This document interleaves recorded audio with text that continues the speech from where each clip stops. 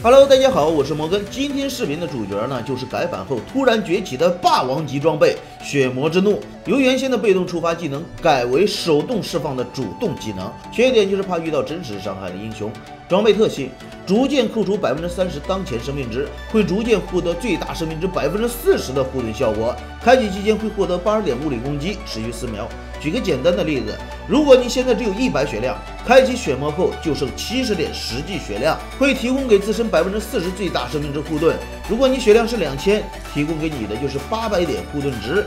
当然了，作为一个边路的坦克或者偏坦克英雄，血量五千甚至更多也是轻松加愉快。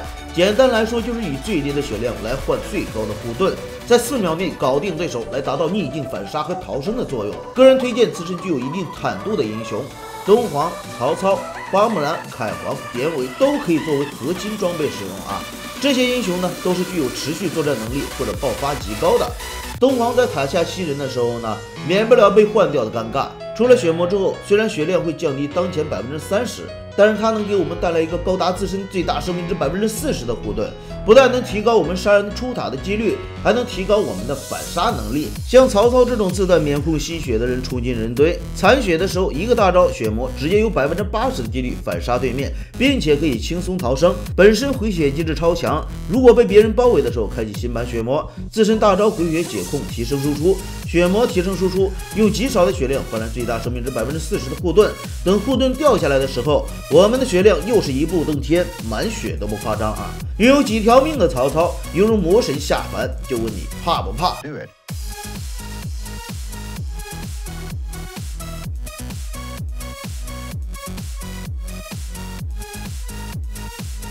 类似花木兰这种零回复英雄也是保命的利器。与名刀不同的是，这款装备更像是边路的名刀。边路本身生命值较高，出名刀不如出一件抗性装备来的划算。新版血魔的出现就打破了这一僵局。装备有坦度，还能提供输出，主动释放能灵活运用装备释放的时机。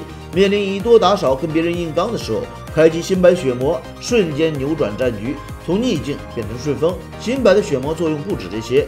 战路大哥都非常适用，海皇、典韦在血量极低的时候开启血魔，配合自身的回血，那是个什么局面？可想而知。这件装备比较适合坦度偏高的近身搅屎棍英雄，坦度太低会影响使用效果，不如一件输出来的划算。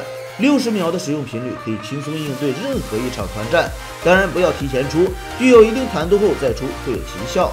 建议第三件，大家赶紧去试试吧。新版血魔之怒为你保驾护航。我是摩根，咱们下期再见。